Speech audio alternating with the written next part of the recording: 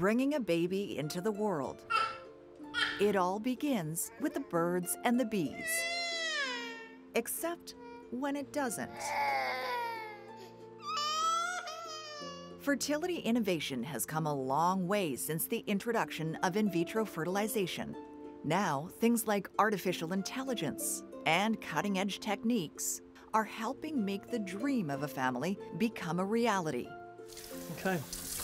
When this couple in Maple Ridge, British Columbia, began thinking of having a child, they knew they had some big biological hurdles to overcome. The cheapest drink possible. Stephen was a widower with two grown children. Erica had no children of her own. How long's it been since we've had to go? When the pandemic hit, they started prioritizing what was important to them.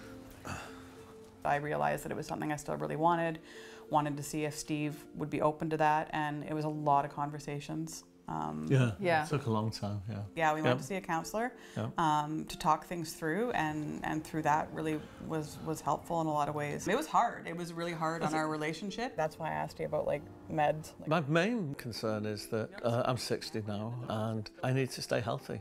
Thank you so much. That's excellent. And Erica, in her 40s, knew she wasn't the ideal candidate for pregnancy. I'm older, my eggs are older, um, so there was that that played into it too. This wasn't a guarantee. After deciding they were ready to go for it, Hi there. Erica and Stephen met with Dr. Sonia Kashyap, director of Genesis Fertility in Vancouver, a leading West Coast clinic that helps people conceive. The natural pregnancy rates at age 40 are about 6% per month, compared to at age 30, which are about 20% per month. To improve Erica's odds, she was given medication to stimulate her ovaries. I took the injections for 10 days to try and get as many eggs as we could, and we were hoping for 10, but there was only four. Stephen also needed some help. Steve had a vasectomy 20 years ago, so if we were going to do this, it would have to be very purposeful. Sperm doesn't really age. Not very at all. So, in order to use his sperm, you have to go through a procedure to extract the sperm. If you can't do a vasectomy reversal, which usually after about seven years you can't. To retrieve Stephen's sperm, they sought the help of Dr. Ryan Flannigan. He's an assistant professor at the University of British Columbia and founder of the Flannigan Fertility Clinic in Vancouver. So, what specifically does your clinic do? My subspecialty is in infertility and sexual medicine. So I'll see couples with all f- forms of infertility and I treat the, the male side of things.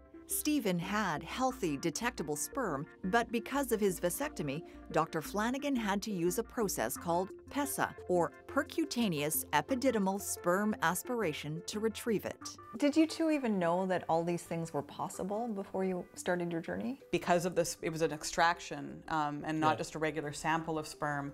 They actually injected the the egg with the sperm, right? So they find a sperm that looks the best and they actually inject it right into the egg. I see. Um, so it's a bit of a different procedure than Right. than just the regular IVF. So we didn't know that that was possible.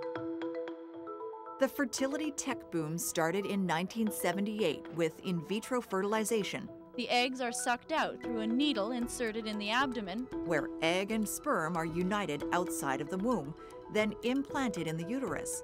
Science has taken off in the decades since with the ability to freeze eggs, retrieve sperm, and detect healthy embryos. But there's always room for more innovation. So, what are the biggest challenges that your patients face? Is it things like low sperm count? Yeah, low sperm count uh, can often be some of the most challenging things to overcome.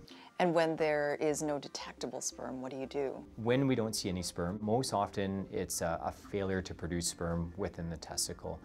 Um, when we're in this scenario, the most common direction of treatment if we're trying to get that individual sperm is to do a, a microsurgical procedure called microTESE, where essentially we're looking inside the testicle using a microscope to try to find rare areas of sperm production that could then be used with IVF. MicroTESE differs from PESA, the procedure Stephen had, because it involves taking a tissue sample that a clinician then searches through for active sperm. When we do these biopsies during the microTESE procedure, we may be collecting tens of millions of cells, and we're asking them to find tens to hundreds of sperm in order to uh, facilitate an IVF uh, round. It's like looking for a needle in a haystack on a microscopic level. They will literally search for hours under a microscope where they're trying to use their eye to distinguish amongst hundreds of cells in a field to try to find this single sperm sometimes, uh, where they may not find a, a sperm for hundreds to thousands of fields when they're searching through. How often do they find the viable sperm in a case like this? It's about 50% of the time.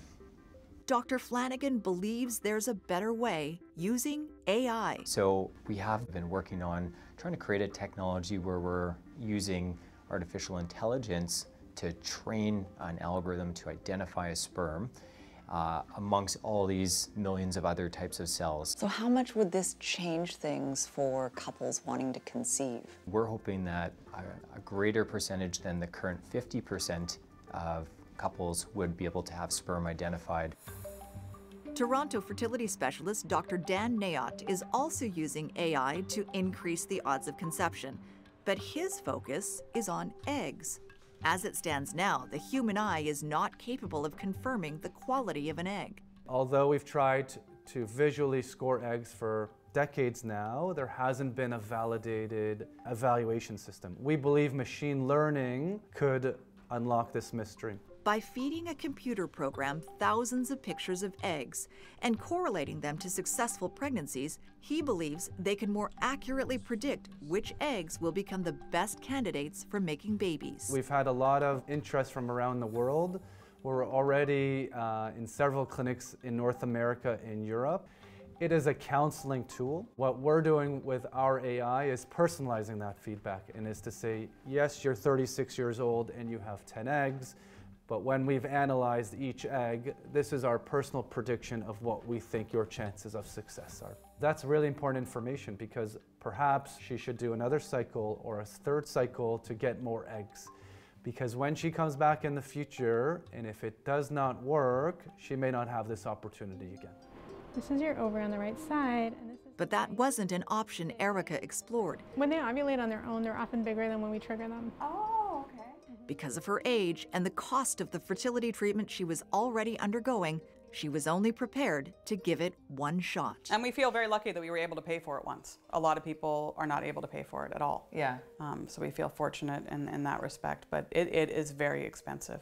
Mm-hmm. Very expensive. May I ask how much it is? Oh yeah, yeah. Uh, I think it was twenty five. It cost we us all about twenty five thousand. Yeah. Oh yeah, wow. Yeah. So yeah, I actually paid for someone to put needles in the testicles just to draw out some sperm. You know? Yeah. So we were yeah. like, we're just going to do this once. If this doesn't work, yeah. I'm going to have to be okay with with not having kids, and I I resigned to that. Three embryos were implanted in Erica's uterus, essentially putting all the couple's eggs in one basket. Yeah, it's normal. And 10 days later, a positive pregnancy test, one of many. I took so many pregnancy tests. Like every just, day? Yeah, I kept taking them because I just I, I, I did believe it, but it just seemed so surreal, you know, and for something that I didn't think that I was going to have. It was just like I, I, I wanted to hold on to that excitement. And nine months later, Elliot arrived. Oh dear.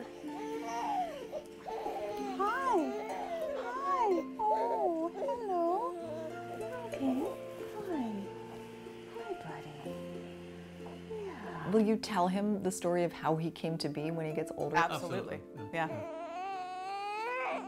Maybe it was something that was a stigma, you know, way back when, but I think these days it's just becoming more and more the norm. Are you watching Rosie? Are you watching her? Genesis gives you a picture of the embryos when right before they put them in. So when they're you know three days old and right before they they put them back in my uterus, you know this this little clump of cells. And so I have this picture of these three embryos, and one of those is him.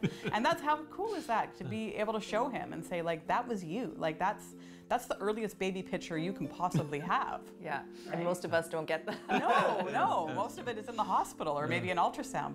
I think he'll like the story. I think it's a really cool story.